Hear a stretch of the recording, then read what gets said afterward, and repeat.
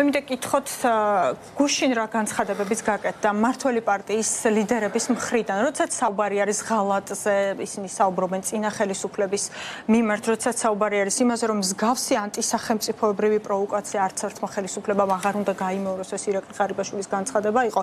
აი თქვენ რა სიტყოდით თქვენთვის, როგორც გენერლისტვის, რას ნიშნავს მსგავსი განცხადებები? რამდენად აზიანებს ქვეყანას სახელმწიფო ინტერესს და ასე შემდეგ? პირველ რიგში მოგესალმებით. გესურვებ წარმატებულ ეთერს. მადლობა. რა თქმა უნდა, სამწუხარო პირველ რიგში ჩვენთვის ეს ყველაფერი, იმიტომ რომ 13 წლის შემდეგ, 13 წლის თავზე ისე ლაპარაკი იმაზე, რომ საქართველოს დაიწყო ომი. ვიღაცამ რაღაც შეცდომა დაუშვა, ვიღაცამ რაღაცა პროვოკაცია გააკეთა. როცა მთელი სოფლიო სოფლიო მაგიარა რომ რუსი არის ოკუპანტი, რუსმა დაიწყო ომი და კიდე არის ხალხი რომელიც პირიქით ლაპარაკობს. არ ვიცი, ხო ნებისმიერ შემთხვევაში დაბარალება რომ ჩვენ დავიწყეთ ომი არის სახელმწიფოს წინაშე დანაშაული. ეგ ჩემთვის როგორც სამხედროს არის ცალსახა მაგრამ მეორე მხრივ კიდე მინდა ვთქვა რომ უშუალო მონაწილე ვიყავ მე 2008 წლის უშუალო და ომი დაიწყო 7 აგვისტოს ჩვენთვის ჩვენ ჯარისთვის ჩვენ ქვეყნისთვის საქმე იმაშია რომ შვიდში უკვე ყავდა ჩვენ დაღუპული სამშვიდობოები ოფიცერები რიგითები პოლიციელები ყავდა დაღუპული სამოქალაქო პირები ყავდა დაღუპული ესე იგი სამოქალაქო პირებს ესროდა ჩვენ მოსახლეობას ესროდა ცხენოლის ზონაში. მუდმივად ესროდა მუდმივად. ბევრად უფრო ადრე. ბევრად უფრო ადრეა შვიდში რო დაიწყეს პრინციპში ვეღარ ვაჩერებდით მაგას და სხვა გამოსავალი არ ქონდა და აბსოლუტურად ვეთანხმები პრეზიდენტ მიხელ სააკაშვილს რომელიც მაგდროს იყო უმაღლესი მთავარსარდალი აბსოლუტურად სწორი გადაწყვეტილება იყო რომ ჩაგვეხშო საცოცხლე წერტილები სანაც მოდიოდა ცეცხლი ჩვენ შევდება მოსახლეობაზე. და ვეთანხმები რომ სამი დღის შემდეგ გასაბზანება ცეცხლის შეწყვეტაზე და ჩვენი ძალების გამოყვანა გამოყვანაზე კონფლიქტის ზონა. აბსოლუტურად ორივე სწორე გადაწყვეტილება იყო მიღებული. და ორი სწორი ბრძანება იყო. აბსოლუტურად ვეთანხმები და ბატონდები თქვენ საუბრობდით როდესაც იყავით მუხათგვერდის სასაფლაოზე 7 აგვისტოს სწორედაც რომ ეს განცხადება გააკეთეთ თარიღთან დაკავშირებით და ხაზი გაუსვით იმას რომ 7 აგვისტოს დაიწყო ომი.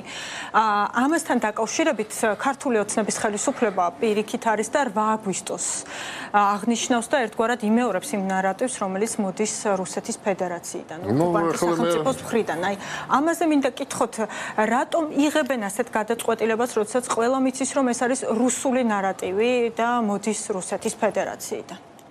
ჩემთვის ძალიან გაუგებარი სიმართლე რო გითხრათ, ამიტომ რომ გინ ჩვენი პრეზიდენტის, ეგრეთ თქვა პრეზიდენტის განცხადება თქვენ ახლა იყო ნახე მე უსმენი. საპრეზიდენტო კომპანიის წინ კამპანიის წინ რომ გააკეთა განცხადება, მე ჩვენი პირველი პირების განცხადება ერთი ერთზე არის ანალოგიური როგორც იყო მაგალითად ოკუპანტი საგარეო საქმეთა მინისტრის ლავროვის განცხადება. ერთი და იგივე არის. და ისტორიის სულ ეს განცხადება რუსეთის წესკულზე ასხავს ყავს, სხვა არაფერი არ არის. გაუგებარია რატომ აკეთებენ ეგეთ განცხადებას. აბა რა უნდა გვექნა? უნდა ჩაგვეტოვა ჩვენი მოსახლეობა შეგნით ცეცხლის ქვეშ რა უნდა გავიკეთებინ? და მე კიდე ერთხელ ვიმეორებ, შვიდში უკვე დაღუპულები ყავდა და ომის დაწყება. იმას კი არ ნიშნავს, რომ რუსთავაზე მაინც და მაინც უნდა შემოგიგდონ ბომბი. როგორც კი პირველი შეარაღებული ჯარისკაცი უცხო ქვეყნის გადალახავს შენ სახელმწიფო საზღვარს ეს არის ომის გამოცხადება. დამთავრდა ეს მიღებული წესია მთელ სოფლიოში. და არის ვალდებულება ამ შემთხვევაში ვალდებული ხარ შენ დაიცვა შენი მოსახლეობა შენი ქვეყანა უნდა დაიცვა. აბა რა აბა ეხლა პროვოკაცია რა პროვოკაცია რა პროვოკაციაზე ავყოთ ეხლა 9 წელიწადი გავიდა, ხო? რა პროვოკაციაზე ლაპარაკი? ესე არ მივდივართ პროვოკაციაზე, არ ყვებით პროვოკაციას და შედეგი რა გვაქვს? შედეგი გვაქვს. დაღუპული ჩვენი მოქალაქეები, გატაცებული მერე. გატაცებული, მე აწამეს, მე მოკლეს, არავით არის. ესე იგი, დამნაშავების ძებნა არ მიდის, არავინ არ დაისაჯა. არის ჩვენი ტერიტორიის კიდე დაკარგვა, ცოცავი ოკუპაციის როგორც შედეგი მივიღეთ, რამდენი მივიღეთ? 54 კვადრატული კილომეტრს დავკარგეთ კიდე. ამის შემდეგ, აი ცოცავი ოკუპაციის შედეგად. დიახ, როდესაც გამოდიოდა 54 კვადრატული კილომეტრი არის ცოტაზე ცოტათი ცოტა ვიდრე მთელი ბათუმი. ბათუმი არის 64 კვადრატული კილომეტრი. დიახ. აი მომენტში დავკარგებ და ეხლა თუ ჩვენ დავიჭირეთ სერაკლემის პოზიცია და თავი პესოქში ჩავარჭეთ და არაფერი არ გვაინტერესებს არ გავაღიზიანოთ არავინ ну машин მოვლეთ თბილისამდე და ну და რა გადარჩი ეხ ბატონდები აი მე მინდა კითხოთ როდესაც საუბრობს პრემიერ-მინისტრი თუ იქნება თუ მართველი პარტიის თავმჯდომარე პროვოკაციაზე ღალაძე და ასე შემდეგ ერთი არის რომ ამას როგორ რთულად აღიქვამენ თვითონ გმირი სამხედროების ოჯახის წევრები და ასე შემდეგ. ასევე თქვენც როგორც სამხედრო რომელიც უშუალოდ ჩართული იყავით ხო მაშინ და ომში მონაწილეობდით და იცავდით თქვენ ქვეყანას მაგრამ მეორე არის აი როგორც პოლიტიკოსის შეფასება მინდა თქვენი მხრიდან როგორც ოპოზიციონერის აი პრემიერის ასეთი განცხადებები რამდენ რამდენად სახიფათო არის?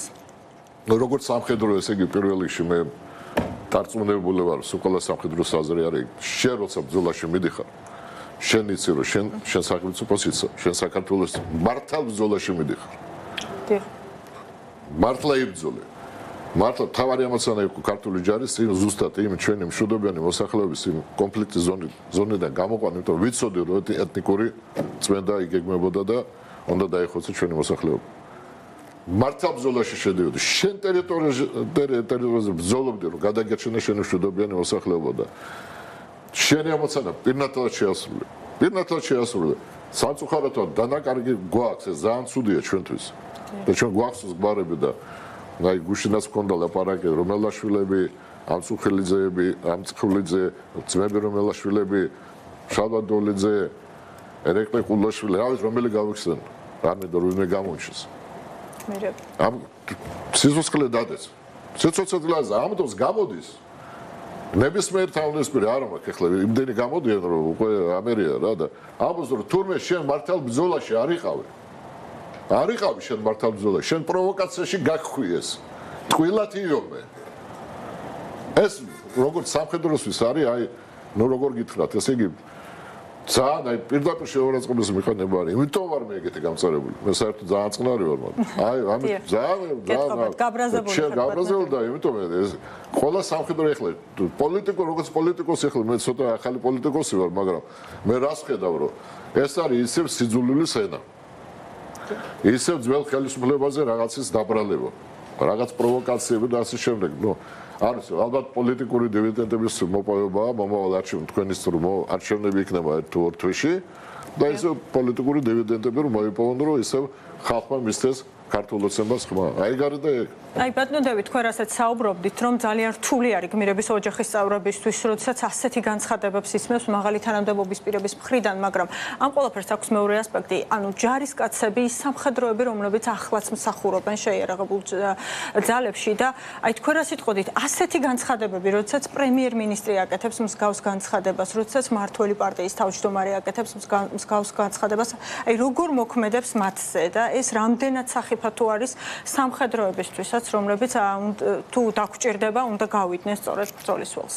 ძალიან საფათოა, იმიტომ რომ მე ჩემ ჩემ თავზე ცდი ხედავ მაგას, რომ ძალიან ახლა ვარავარ მე ჯარში და მაგრამ მაინც ესე იგი გულში ხვდება ეს ეგეთი სიტყვები რა, ესე იგი მე ტყვილად ესე იგი აფხაზეთში ტყვილად ვიბძოლი. ცინაში მე ტყვილად ვიბძოლი ჩვენ ჩემ ბიჭებთან ერთად ტყვილად დამიუყვა მთელი სამეგობრო და საძმაკაცო გინ ერთ ომში გინ მეორე ომში. დიდი განსხვავება. იქაც აფხაზეთში რუსული ხელოვნური აბა ამიშის დესანტი რითი ფეხით გადავიდნენ ზღვაზე აფხაზები რუსეთის გებებით გააკეთეს ეს დესანტი. მოამრავი ხალხი დავკარგეთ აფხაზეთში მოამრავი ხალხი დავკარგეთ. ამ 2008 წელს და რა ვიცი ახლა რუსების ხელი იქაც არის აქაც არის რუსების ხელი ამის არ დანახვა.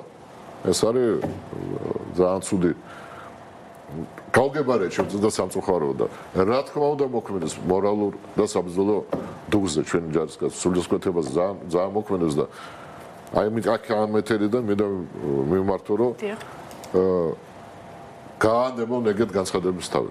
გაანებო. მიხედონ საქართველოს მიხედონ ჯარს. და მე კიდე ერთხელ აქედან უსურო ჩვენ ჯარს წარმატებებ და გავარჯობებ